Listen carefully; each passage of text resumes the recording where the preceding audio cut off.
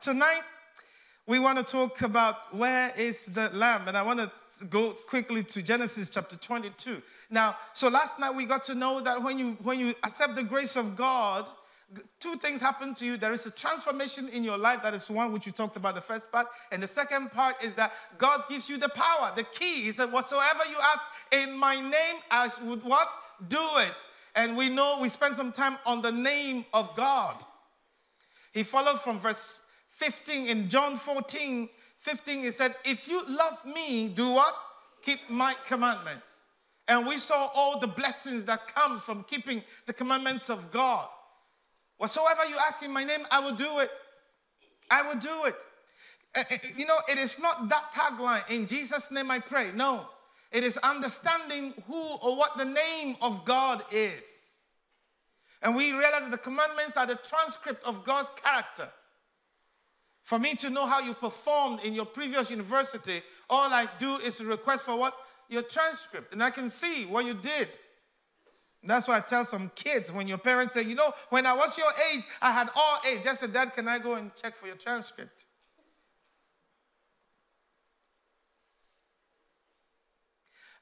And God says, Whatsoever you ask in my name, I will do it.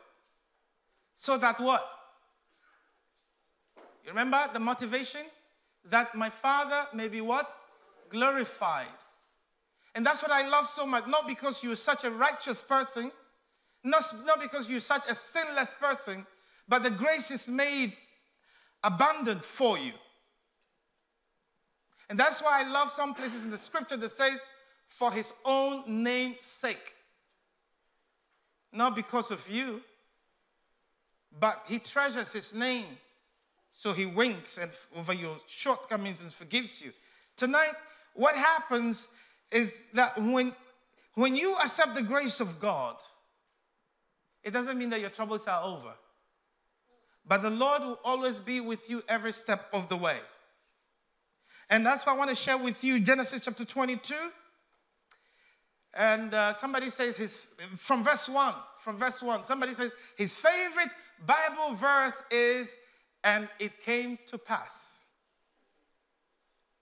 That's the favorite Bible verse. Because whatever the condition may be, it came to pass. So even if you are at the breaking point of your life, for my friends who are coming just today, the breaking beyond the breaking point has been our theme throughout this week. It came to pass. The pain, the sorrow, the tear, the fear, the disappointment, the guilt, all of that, the struggles, it came to pass. And it came to pass after these things that God did tempt Abraham. Of course, this is old English. God did test. We saw that on Saturday afternoon, Job chapter 23, remember verse 8 to 10? It said, And when he has tested me, I shall come forth as what? Gold. So God did tempt, but God did test. That is the contemporary meaning of this. Abraham. What did God say? And he said, so, so God did tempt Abraham and said unto him, Abraham, and he said, Behold, here I am. You know, to change your situation, you should be able to change your position. When God calls you, you should hear the voice of God. There's a lot of noise around today. A lot of noise, internal noise, external noise, noise everywhere, television, radio, everywhere, the media. Internally, we have noise that struggle, that we struggle with. But once in a while, we need to be able to tune off from all of these noises and focus and meditate. Uh, normally, when we come to Christians, we talk about meditation. Many Christians do not know what it is.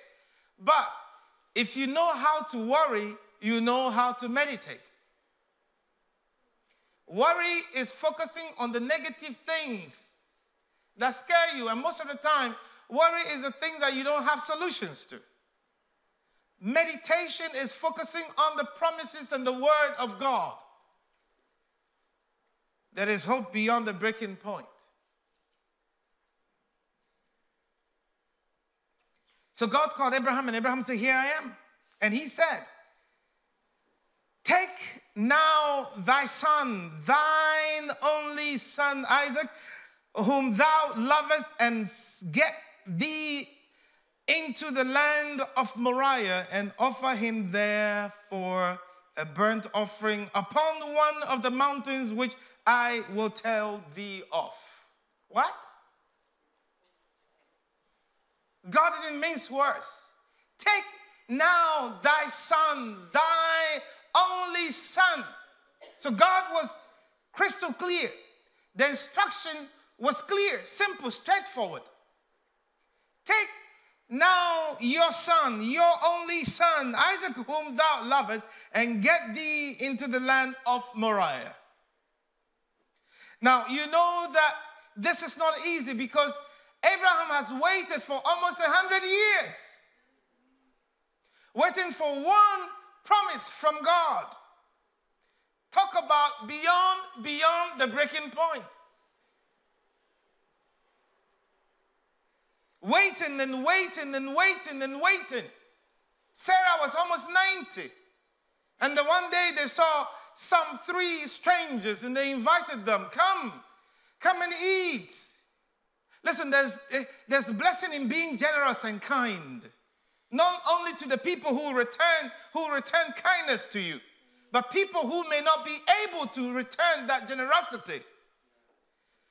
The Bible, Hebrew makes us to understand that in so doing, we minister to what? Angels. Kindness. Oh, haven't you met just some mean people before?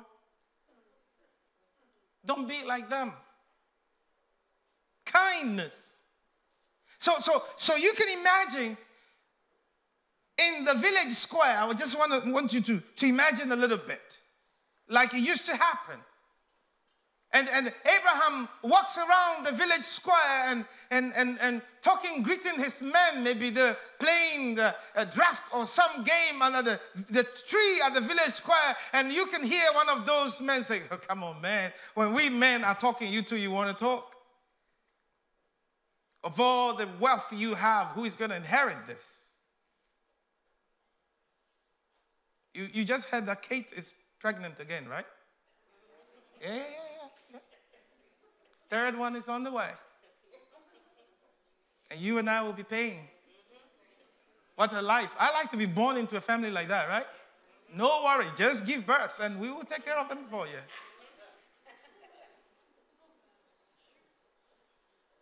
And no offense, if you are from the royal family, you are here, you're welcome. I'm not, I'm not. you have a good life. I, I remember going on, going on some uh, tour at Windsor Castle. Oh, my goodness. Hundreds and hundreds and hundreds of years of history. And most of the history is taken from the Caribbean, from Africa, from, from Asia. Yeah. You've done a good job. we have, haven't we? But, but here we are, almost 90, and Sarah had no one, and, and, and Abraham had no, no, you know, they didn't have any child. And imagine the pain, the pain for a wife to go to her husband and say, you know what, at this age, we've gone past and beyond. So I think you, you, you better marry my, my, my, my housekeeper. How many, how many women of God here would like to do something like that? That would be real tough. So, so for, for a wife to, to, to go to her husband and say that, you can imagine the pain, the ridicule, the gossip that she had to put up with, the joke. You can imagine it. And I like the way the Nigerians do it, right? The Nigerians do it very well. They know how to demonstrate it. So, so, so when you're walking, the, the, the old lady is walking through the, the village, they say, witch which you don't chop all your picking for your belly. That means you, you've eaten all your children in your womb.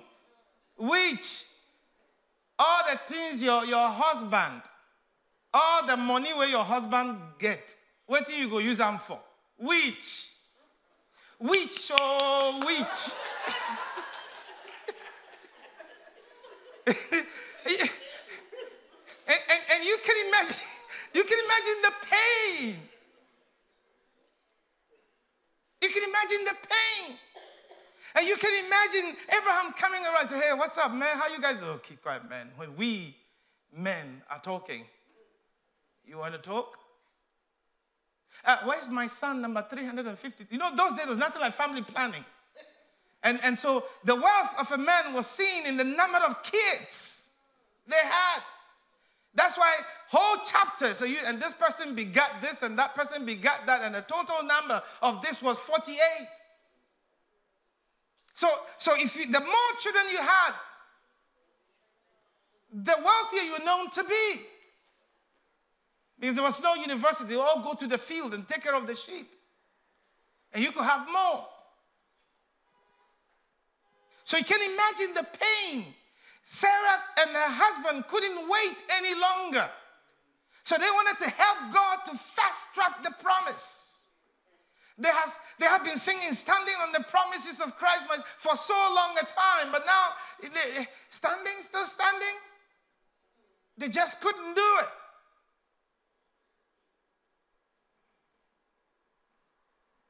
But it's so sweet to trust in Jesus just to take him at his word and just to, to rest upon his promise and just to know, thus said the Lord. So, so I, in my imagination, forgive me, uh, imagination one day Sarah wakes up and Sarah is not feeling very well. You know, meanwhile, the angels promised her that in a year's time, oh, they laughed. She laughed. Look at me, man. But one day, not too long afterwards, I imagine Sarah feeling so unwell and, and, and restless. And why? Do you have malaria? What's going on, sweetheart? I don't know. I just feel like throwing up. Is it food poison? No, I can't tell. I've, I've tried everything. You know, maybe you should get some trisilicate or something, you know, to take care of, of the stomach. Okay, you know what? I think I need to go and see the GP. If there was one at that time, you know?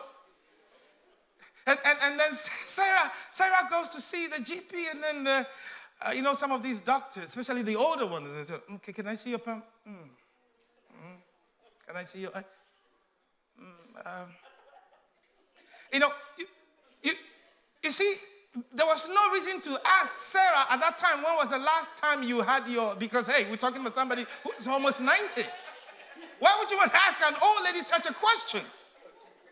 She's gone past all of that. Is somebody following me? So, so the doctor didn't need to ask all these questions. Okay, you know what? I think we need to run a few tests and see. Uh, we need to, okay, can you see the lab technician? Uh, let's just go to the lab and run a few tests for you and see. And imagine the, the test coming and then, uh, uh, Mrs. Sarah Abraham? Sarah Abraham? Yes? Okay. Okay, so uh, your test has come and. No. No, the, no, no, no. This can't be. Uh, how old are you again? Come on, you're my GP. You have all my history. Why are you asking, how am I again? I'm almost, almost 90. No, um, you know what? We have to run this test again, just to be very sure. Well, I'm just using a contemporary imagination, right? Well, Mrs. Abraham, your test just came back and it, it, it, according to, no, he doesn't want to take responsibility. According to the result, from the result we've gotten, you're pregnant. What? I am? Are, are you serious? And just takes the result and I imagine this old lady going home and, and, and says, Sweetheart, oh, guess what? Guess what? Why, you gone? The sickness is gone? You know, you don't have malaria? No, you better guess. Why, we have more sheep added to our fold for sheep? no, no, no. Guess what? You're gonna be daddy. What do you mean? I've, I have Ishmael now. No, no, no. I've, I've always known now I can be a daddy. No, no you mean uh, she's pregnant again? No, myself. Really? And again, when I get to this part of this story, my mind goes back to the Nigerians. They do it so well because when that good news break, that old lady will start dancing, you know? They start dancing. And, and, and this is the song they do. I have a very big God. Oh. He's always by my side. I have a very big God oh, by my side. And you see that old lady will start dancing in the whole village. That's the first thing that by my side, by my side, by my side, by my side. I have a very big God. Oh. He's always by my side. I have a very big God oh, by my side. Yes, we sure do have a very big God. And He's always by our side, even when we feel we are, we are at the breaking point of our lives. When the promise doesn't make sense any longer. When the word of the Lord doesn't make sense any longer. When the voice of God, you don't hear it any longer. Remember last Saturday afternoon, Job says, Look, I go forward, he's not there. I go back, he's not there. I turn left and right, God is not there. And it happens to each and every one of us. And that is faith. The only thing that can keep you going in times of God's silence is faith. That's it. That's the only thing. For without faith, it's impossible to please God. If only we can have faith like a mustard seed. So now you can imagine after 90 years now and after 100 years, these two old folks, you can imagine Sarah walking in the village and this same village gossip say, ah, what did they do, mama? what is happening to mama? What did they happen to mama? What did they happen to mama? This witch. I hear something for the village. I hear say, mama don't take beleo. No, and then and then you can hear someone say, can can can my grandchild, can he help your old pregnant lady to sit here a little bit? Did you hear that? She's pregnant. She says she's pregnant. Can you imagine this? And then finally, the promised child is born. And then God keeps silent for some years. And then suddenly we hear the voice of God calling Abraham. Probably Abraham might be thinking, well, I have another promise for you.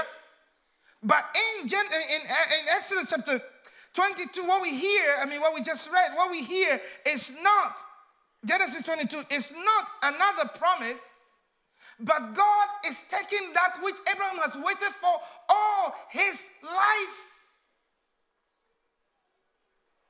All he has desired and, de- and desperately wanted. Now it appears God wants to take this from him. Take now your son, your only son, Isaac, whom you love. Take him to the Mount Moriah and offer him there as a burnt offering.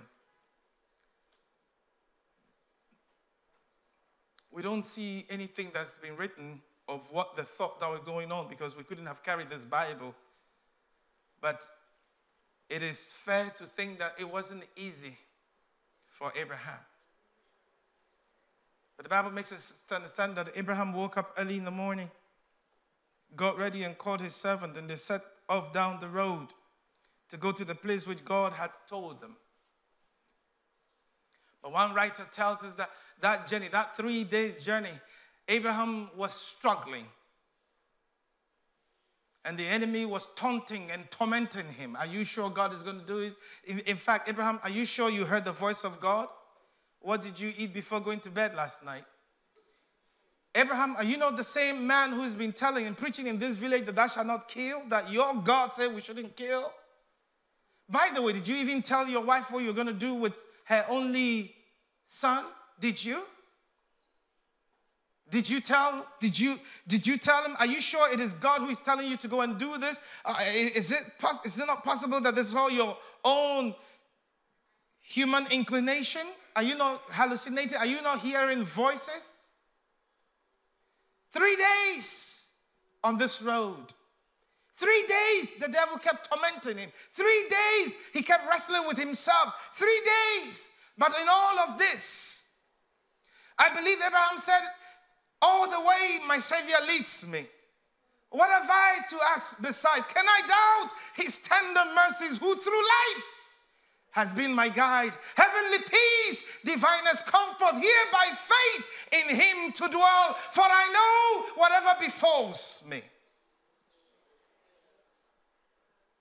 Oh, the way through the thick and the thin, yea, though I walk through the valley of the shadow of death, oh, the way whether my prayers are answered yet or not. Oh, the way, whether my sorrows are gone or not. Oh, the way I have decided to follow Jesus. No turning back. No turning back. The cross before me, the world behind me. And Abraham was focused, determined, stubborn faith like none other.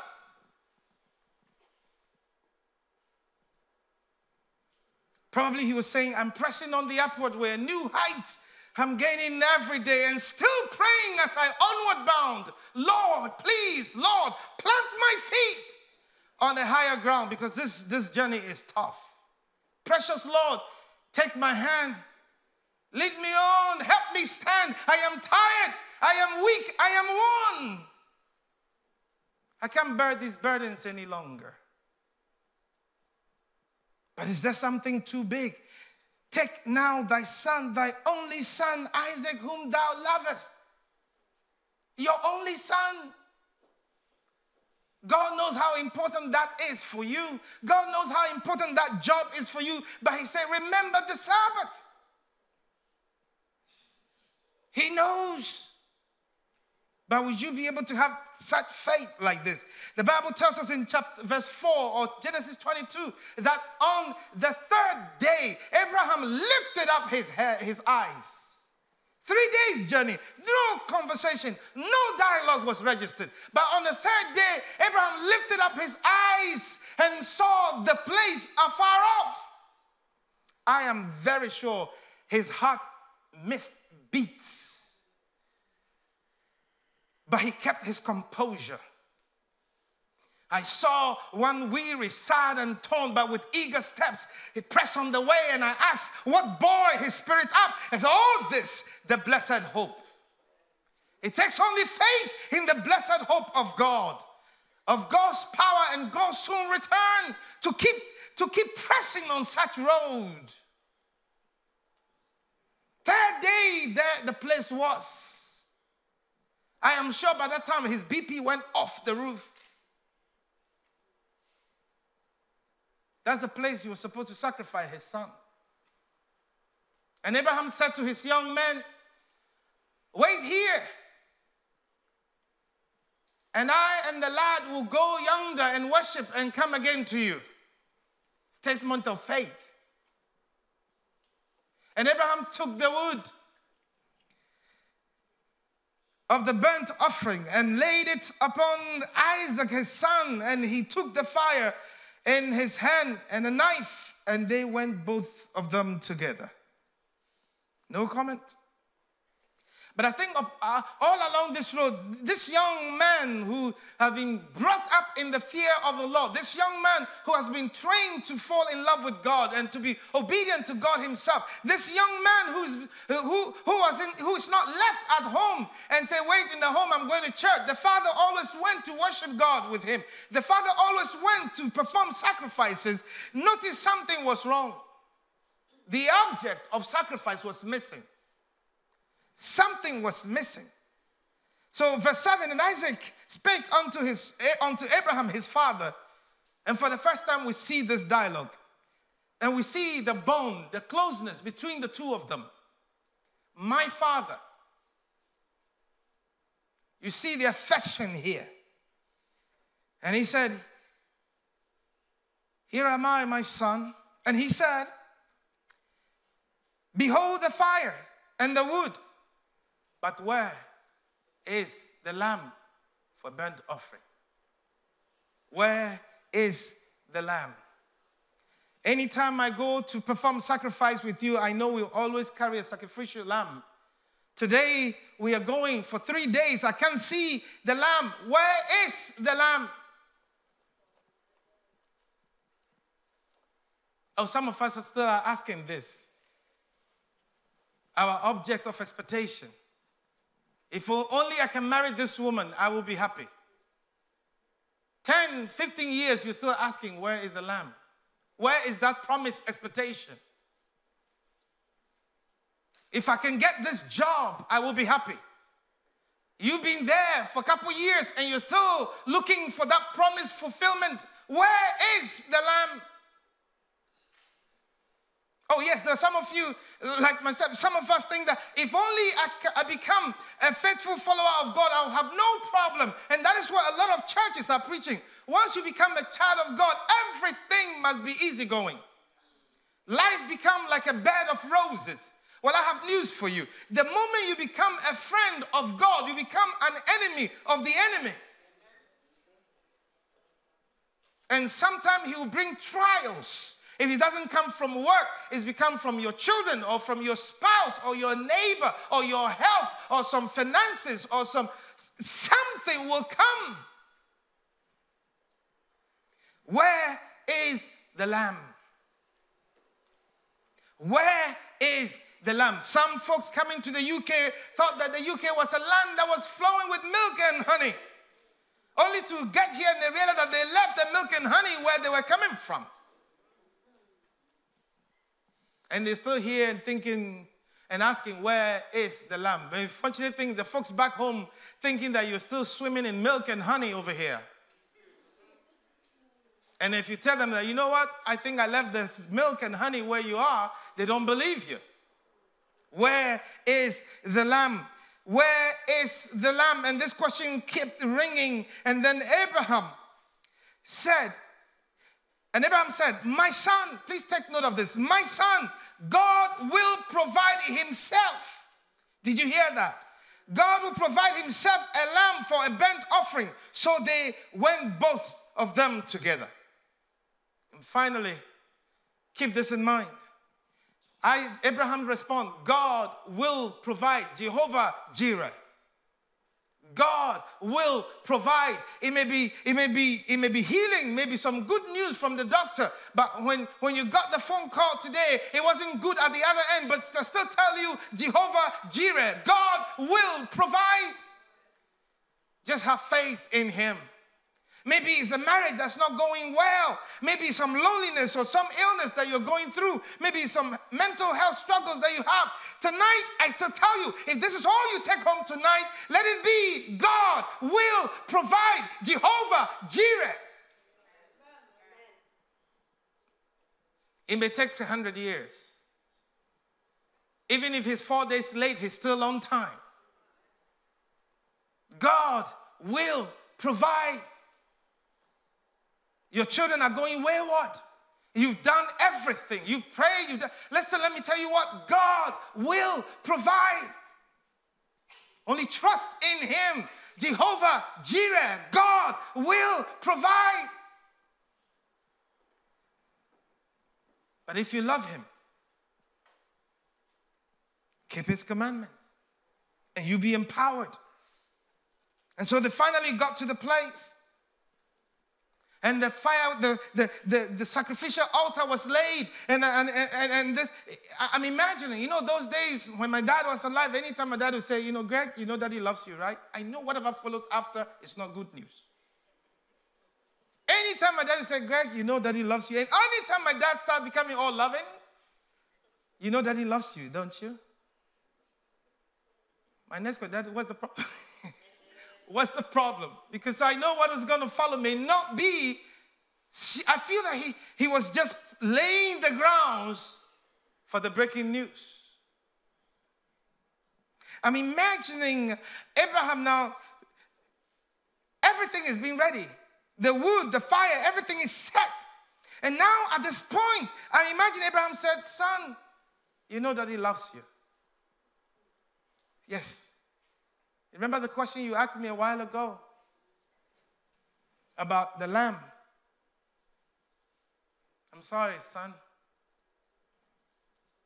But Yahweh, you and I, our Father in heaven said, Today, you shall be the lamb. Really? Bring it to today, England. Oh, yeah? Dad, you want to kill me? Come over. You, you, you want to kill me? You want you so you you you brought me here. You you deceived me and brought me here to kill me. Okay, now you stand there. I'm gonna take some selfies. And what's the what what's the what's the emergency number? Is it 999? Yes. 999. Yes, yes, what's it? Yes, listen, my, I'm, I'm, uh, I'm breaking. I'm not in town. I'm somewhere in the bush on the hill. Somewhere, you know, my dad just lied to me. He brought me here, and dad want to kill me. We're talking about a young, grown teenager.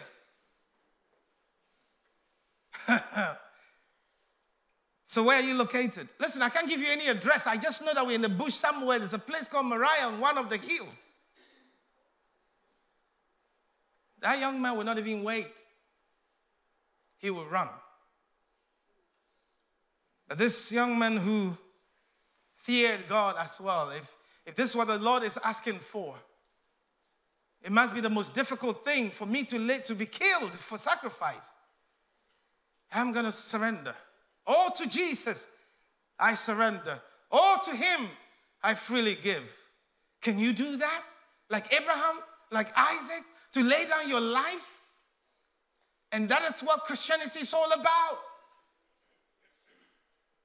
To surrender completely. One of the most difficult things Christian can ever do is surrendering. To surrender to God. To lay down your life as a living sacrifice. Now, a living sacrifice is different from a dead sacrifice because this living sacrifice can get off the altar and go away. Offer yourself as what? Living sacrifice. In other words, you are not like a lamb that's been tied down. You chose to surrender yourself. Every living sacrifice is, before sacrifice, is willful. I'm talking about human sacrifice. And I'm not talking about where a throat is slitted or all that. But you willfully saying that I give up of all the worldly things that I do, Jesus, all to Jesus. All I am and have and ever want to be. All of my aspiration, hopes, and plans, I give them to you. All of my yesterday, today, and the future, I surrender them to you. All of my joy and happiness and frustrations, I surrender them to you. My, my project, everything. Jesus, all to Jesus. We sing this song, All to Jesus I surrender. Trust me, it's not as easy as we sing it.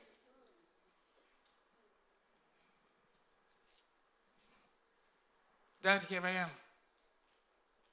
Imagine Abraham tying the hands of his son and probably putting the son on the, on the, on the wood. His hands probably shaking, his heart beating 10 times more than usual. He looks up again, tears cloud his eyes, and whispers prayer for the last time. His, his voice becomes shaky and hoarse, and he couldn't just stand still. His hands were all shaking. He takes the knife and looks up to God. All to Jesus I surrender, all to Him I freely give. I'm imagining the Lord, God, this is so hard. This is so difficult. This is so hard. How can I just do this to the only promised child that I have? The Lord wants it. The Lord is asking for it. My time, my talent, my temple, my treasure, my everything. The Lord wants it. That which I cherish, the things that I cherish most. God says, surrender to me, trust me, follow me. I will never leave you nor forsake you. But this one is too hard. And finally, I imagine Abraham takes the knife, puts one hand on the eyes of the son, then ready placed the knife down the throat of his son, ready to press down to go back and forth. And just at that nick of time, the voice goes out Abraham, Abraham, drop that knife. Do not hurt your son. For now I know that truly you fear the Lord. Wow. Jehovah Jireh. So sometimes God allows tests and trials to help us grow. Can you still trust Him? Is there something you think He's asking of you that is too much to give? And Abraham stretched forth his hand, verse 10, stretched forth his hand and took the knife to slay his son. And the angel of the Lord called out of heaven, hallelujah, someone, and said, Abraham, and he said, Here I am. And he said, Lay not thy hand upon the lad, neither do you any do, do thou anything unto him. For now I know that thou fearest God, seeing that thou hast not withheld thy son, thine only son from me. And Abraham lifted up his eyes and looked, and behold, behind him a ram caught. God has provided himself what? A lamb for the offering. When you read on, all the blessings that were pronounced upon Abraham are there. But let me tell you something. When Isaac asks, Where is the lamb? All through, all through the scriptures, from Genesis, there were attempts to answer that question. Where is the lamb? Genesis mentions it and says is the, is, is, is, is the seed of the woman that will do what? Crush the head of the serpent. We come through all through almost every scripture in the Bible makes references to that answer, makes an attempt. Isaiah gets so close and mentions the name. He will be Emmanuel, the everlasting Father, the wonderful counselor, the Prince of Peace. He mentions all the name, but that was not answered until one day in John chapter 1 when John the, the, John the Baptist was baptizing at Bethabara at Jordan. He plunged somebody into the water, lifted up his head, and is going to baptize. And he lifted up his head in John chapter 1, verse 29. That was the first time of, after over 400 years. The Bible said the next day, John sees Jesus coming unto him. And when he lifted up his head, he saw that, behold, so Isaac asked the question, where is the lamb? And for the first time, that question was answered directly. Where is the lamb? And we get the answer. Behold, the lamb of God, we taketh away the sin of the world. Would you say amen out here? Amen. Look at how long the promise has taken. Where is the lamb? Behold the Lamb of God.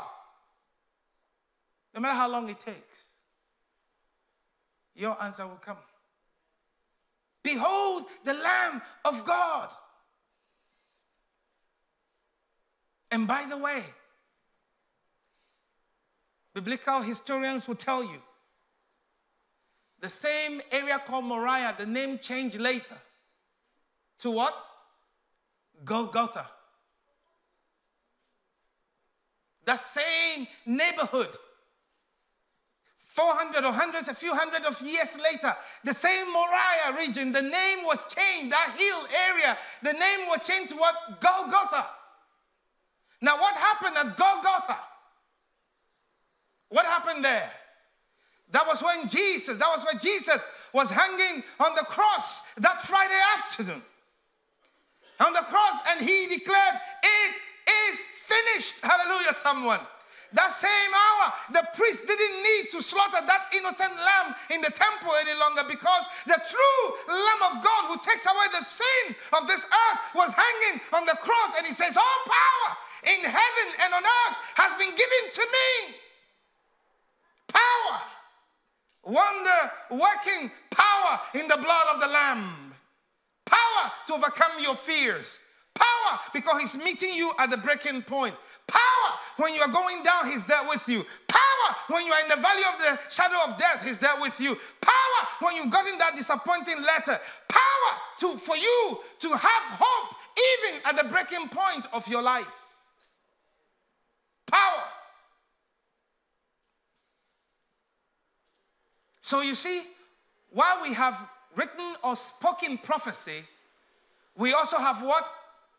Acted prophecy. So everything that was going on between Abraham and his son was prophecy that was being what? Acted. Prophecy that was being rolled out.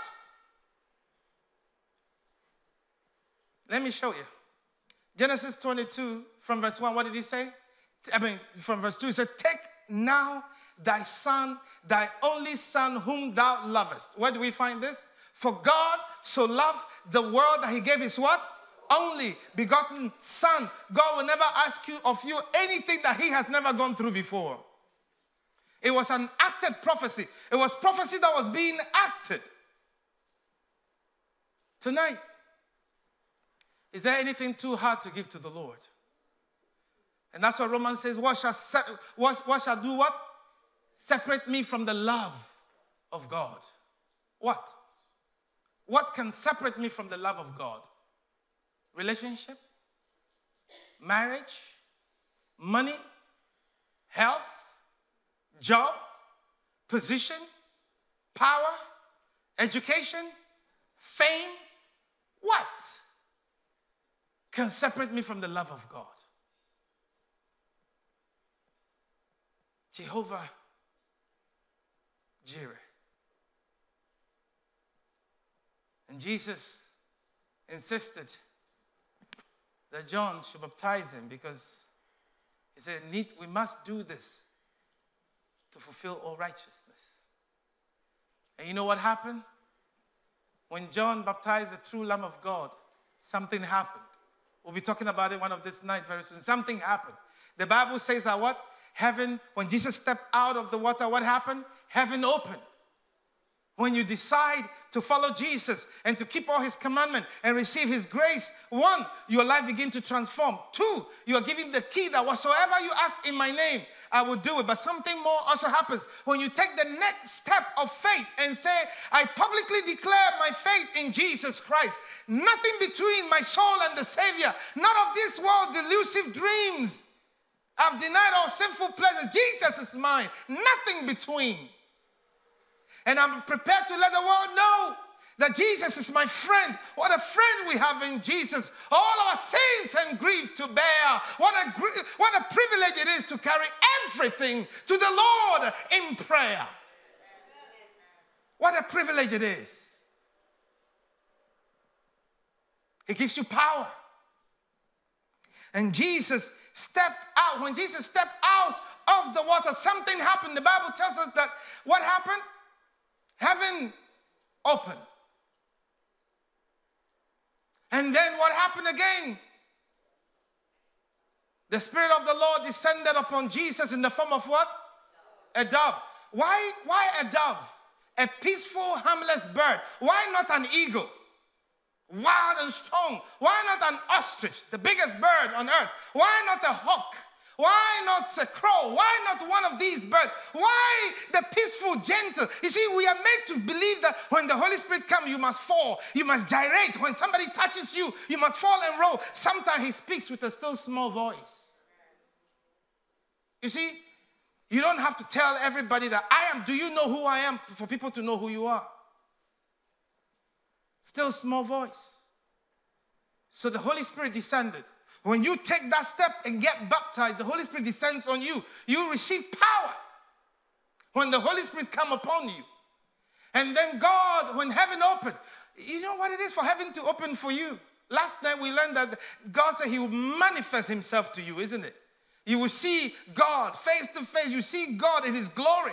The power of God will be upon you. And then guess what? Heaven opens. I don't know how you call your treasury here, but imagine where all the money of England is printed. And then they said, Sister Pastor Pickett, you the door is open for you. Whatsoever you need, whatsoever you ask, I'm sure you ask Sean and all the others to follow you. Church, we need to expand. Anybody has a pickup truck here? Let's go. Let's, let's go and load them all in. The door is open for you. Heaven will open for you. And when you mention, you call God, even the weakest voice resounds in the throne room of God in heaven. Because now you have a direct access to the throne room of God. Heaven is open for you. And the voice of the Lord came, what God spoke from heaven and said, What? This is my beloved Son in whom I'm well pleased. That is a universal declaration. This is my beloved daughter in whom I'm well pleased. That is a declaration, a statement of approval to the whole world, a welcoming statement into the kingdom and the fold of God. Lucifer, she's not yours anymore. This is my beloved son. This is my beloved daughter. It's also a warning to the kingdom of the enemy. Back off. It doesn't, I don't care what she's done in the past. I don't care what she did even this morning. She's mine now. It is an endorsement, it's a vote of confidence. And now, if we confess our sins, He's faithful and just to forgive our sins and to cleanse us from all unrighteousness. I want to receive that power, even if it means I should do this over and over again. Because there's power in the blood of the Lamb. Is there someone sitting by you? Is there somebody sitting close to you? If you don't know the name of the person, can you ask? Because I want you to pray for that person. I want you to pray for that person. Is there somebody sitting close by you? If there's nobody sitting close by you, it means you're sitting alone. Just get a name. If you're around you, get a name because I want you to pray for that person in the next uh, one minute. In the next one minute. Can we bow down our heads, please? So you may ask for the name of that person and then you pray for that person. If you want to share something with the person to pray for you, you can. All right? You can. But when the person is sharing with you, keep it. It's between you and God. It doesn't go anywhere else. Amen? Amen? Pray for that person. But I'll tell you what to pray about. But if that person want to share something with you to pray about, then don't just tell the person I'll pray for you. Do pray for that person here and after here. Amen? Let's bow down our heads. Let's bow down our heads. And I didn't say pray with, I said pray for. So you can pray alone. All right? You can pray alone, but just want you to pray for that person. Is that good? Yes. Because there are people who are learning how to pray. Don't put them, don't embarrass them.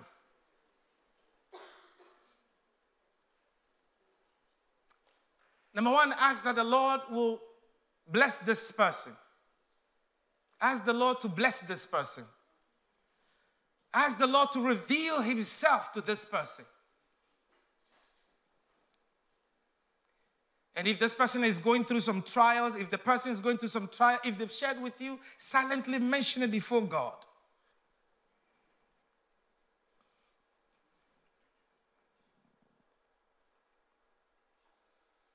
Ask the Lord that this person will, the faith of this person will be increased and that person will trust in God so much.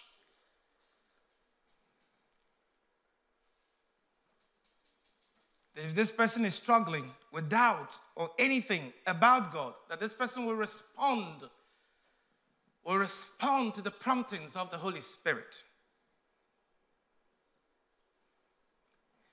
That if they're struggling with anything in their lives, if they're struggling with anything in their life, if there's something they must let go, but they can't let go, ask that God will give them the power, the power to trust in Him.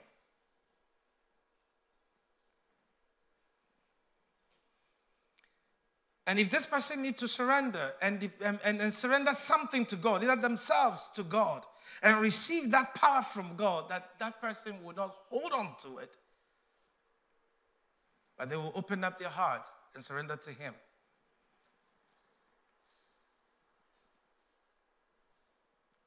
And maybe tonight you're here you heard my voice, you've decided to follow Jesus.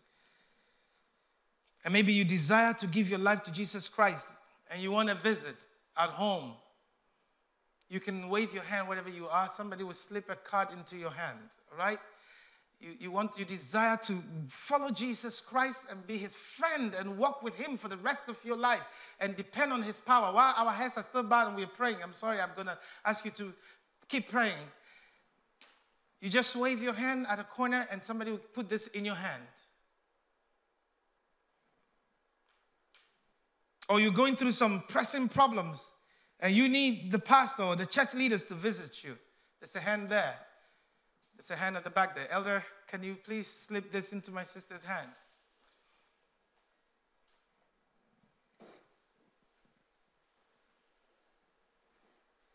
Thank you. Is there somebody else? And I needed to have given you a few copies. Let me also say this that if you desire baptism, that you may receive the power of God, like it did even with Jesus, would you wave your hand? If you're sitting here, or would you wave your hand? You desire baptism. You haven't been baptized by immersion, but you want to take advantage of the plan made by the church and be baptized and start a fresh life with God. Would you wave your hand? We'll give you this card while we are still praying. Is there somebody here like that? You desire to get baptized and start a new life with Christ. Is there someone here like that?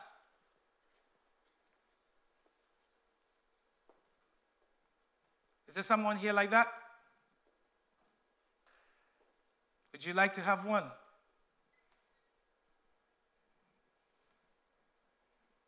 Don't be shy. Edda, please come to my right hand side. Don't be shy.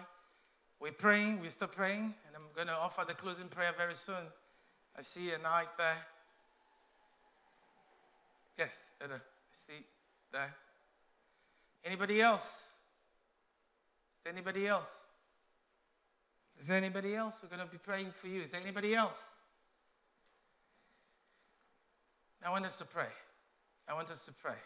Can we all, can we all, let me add this. Maybe you feel that you're discouraged and need prayers for stronger faith in Christ. We talked about faith tonight. Would you rise? Maybe your, your challenge is that you want a stronger faith in Christ. Would you rise as we pray? You need a stronger faith in Christ. You say, Lord, I want to have a faith like Abraham. I want to have a faith like, like Isaac. I want to have a faith like Isaac. Lord, please help me. Let us bow our heads as we pray.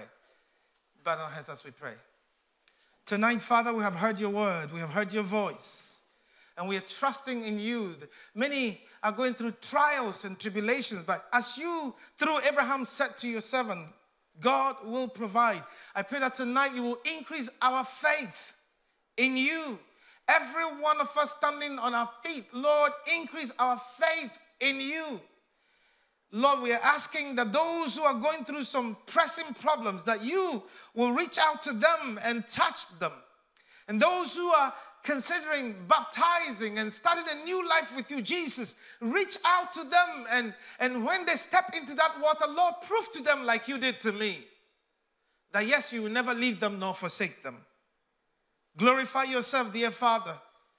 Glorify yourself tonight. Hear the prayers, the weak, sinful prayers of your children. Lord, please hear their prayers and their cry and bless each and every one of us. And like Abraham, may we see your glory and your miracle at the end of it all. Thank you, Spirit of the living God. Thank you for hearing us. Take out all of us home tonight safely and bring us back here tomorrow night as we hear another message that gives us hope, even at the breaking points of our lives. Thank you. In Jesus' name, amen. Thank you. Please, let's be seated. For those of our friends who may be watching online, if you, I'm sure that on the same website, if you want to send a message, you can send an email. There's a phone number there. You can call. You can send an email to the church and we to be promptly re- uh, responded to. And then if you are here and maybe you didn't raise your hand, but you still want one of these, one of these, or you want to see me and talk with me, I'll make a few time to talk with you. May the Lord bless you indeed and have a good night.